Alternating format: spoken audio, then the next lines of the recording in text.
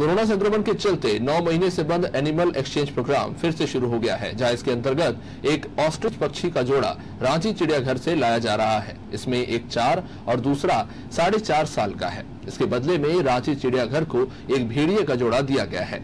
वहीं animal exchange programme के शुरू होने से इंदौर में व्हाइट टाइगर के आने का रास्ता भी अब खुल गया है।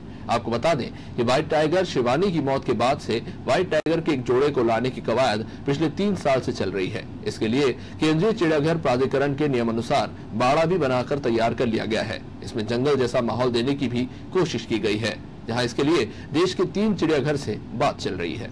आ, काफ़ी एक्साइटमेंट है कि कुछ नई स्पीशीज इंदौर जू में देखने को मिलेंगे क्योंकि इंदौर जू में काफ़ी सारी स्पीशीज है तो ये स्पीशीज आना भी हमारे लिए उतना ही एक्साइटमेंट क्रिएट कर रहा है।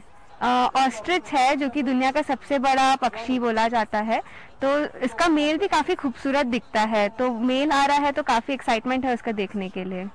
एक्साइटेड तो बहुत है, क्योंकि बहुत सारी अलग अलग स्पीशीज आने वाली है। तो बहुत सारे नए नए टाइप के वाइल्ड लाइफ इन जनरल देखने को मिलेगा, जिसमें जेबरा भी आ रहा है ऑस्ट्रिच भी आ रहा है। उसके अलावा एक नया एवरी खुल रहा है। सो एक्साइट एक्साइटमेंट तो बहुत है। देखिए, क्योंकि जू इंदौर की एक धरोहर है और सबसे ज़्यादा विजिटेड डेस्टिनेशन में आता है। तो हमारा पर्पज़ यही है कि जितने भी हमारे दर्शक आते हैं, उनको नई नई एनिमल की वेराइटीज़ देखने को मिले। साथ ही में एजुकेशन वाइज बच्चों के लिए नए नए अलग अलग एनिमल्स हों जंगल के।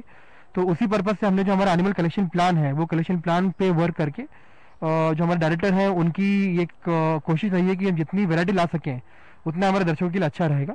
और वही चीज़ पर हम काम करके हम लगाने अलग एनिमल को लाएँ